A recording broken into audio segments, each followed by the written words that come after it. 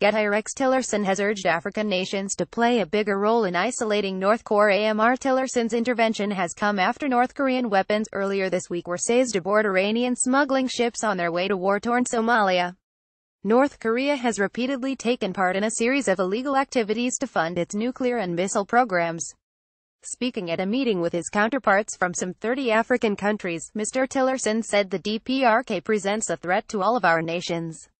Everyone, including each country represented here today, must play a part in this peaceful pressure campaign to convince the DPRK that the only way to achieve true security and respect from the international community is to abandon its current path and choose a meaningful dialogue about a different future.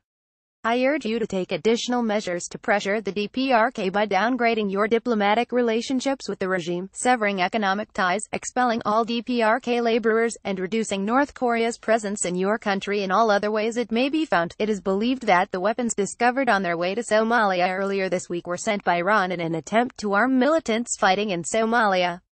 Friday, November 10, 2017 Map of prison camps in North Korea The ships were intercepted in the Arabian Sea by a French vessel. It is understood that the intercepted Type 73 machine guns were manufactured in North Korea before being sold to Iran between 1970 and 1980. The last month, a North Korea ship was also seized after it was caught carrying a huge supply of weapons to Egypt. More than 30,000 rocket-propelled grenades discovered on board the freighter named the Jie Shun which the Hermit Kingdom had decorated with deceptive Cambodian colors.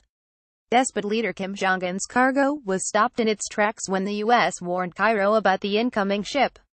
An investigation launched by the United Nations found that Pyongyang had good relations with Egyptian business executives who had ordered millions of dollars worth of North Korean weaponry.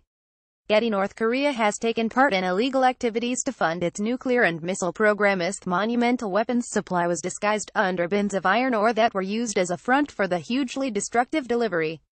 Last month, Rex Tillerson praised political partners to the U.S. from across the globe for helping to deliver the toughest UN sanctions to date on North Korea.